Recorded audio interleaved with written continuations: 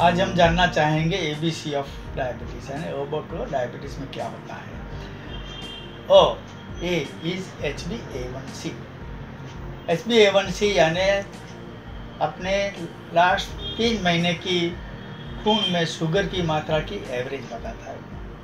ताकि हमको मालूम पड़ता है कि हमारा डायबिटीज़ का नियंत्रण कैसे अच्छे हो रहा है कि नहीं।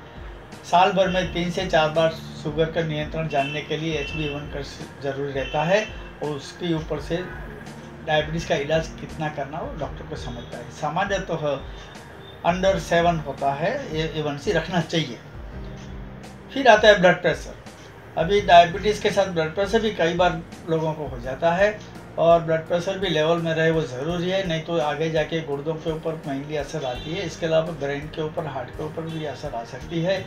और ब्लड प्रेशर सामान्यतः वन फोर्टी नाइन्टी से कम होना चाहिए वन थर्टी एट्टी तक रहेगा तो अच्छा रहता है। साथ में रहता है कोलेस्ट्रॉल को भी ध्यान देना पड़ता है, क्योंकि ये डायबिटीज़ ब्लड प्रेशर कोलेस्ट्रॉल वगैरह मिल के अल्टीमेटली हार्ट के नसों के सर्कुलेशन के ऊपर असर करते हैं।